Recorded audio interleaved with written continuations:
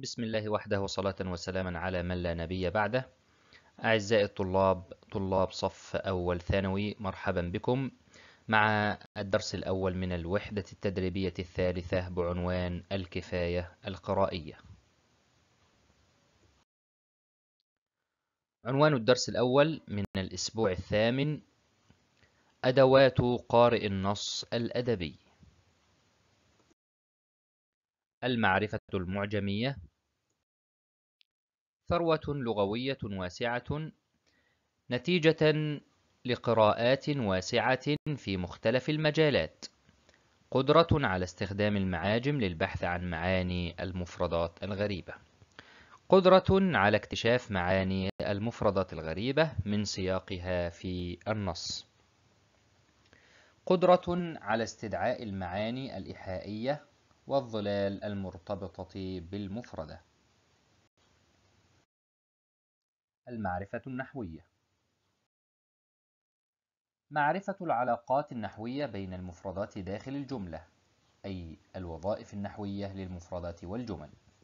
معرفة الروابط النحوية والمعنوية ودلالتها الحروف والألفاظ الرابطة أي الضمائر حروف العطف الاستدراك التعليل التشبيه التلخيص التفسير إلى آخره.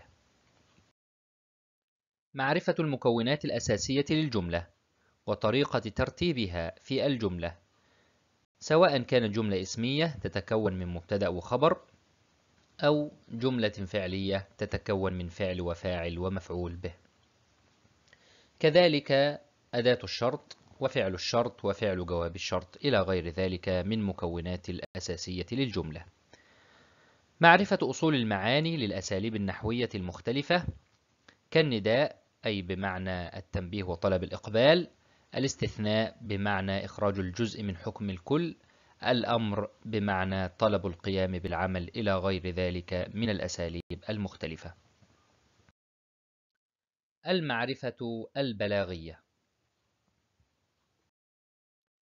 نظم الجملة ترتيب الألفاظ داخل الجملة ترتيبا مغايرا لأصل ترتيبها النحوي.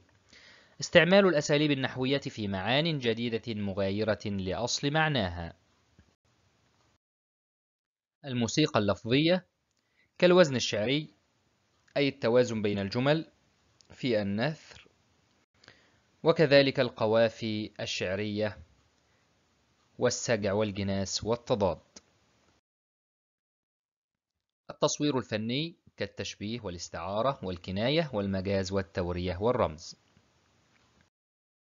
الثقافة ثقافة النص معلومات عن النص ظروف إنشائه أراء النقاد فيه خبرة القارئ بنصوص مشابهة في النوع والموضوع.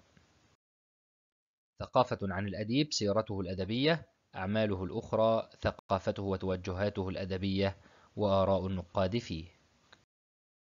ثقافة أدبية. قراءات موسعة ومنوعة في جميع الفنون الأدبية. قراءات موسعة لنقاد مشهورين. معرفة الأسس الفنية للفنون الأدبية المختلفة. وأخيرا بعض الثقافات العامة مثل معرفة بالتطورات السياسية والاجتماعية والثقافية لمجتمع الأديب عبر العصور. كذلك معرفة البيئات الجغرافية المختلفة وأثرها في حياة الناس وسلوكهم اللغوي.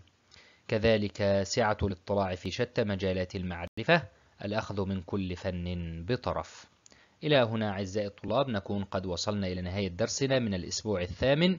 أسأل الله أن ينفعكم بهذا الكلام. حفظكم الله ورعاكم. والسلام عليكم ورحمة الله وبركاته.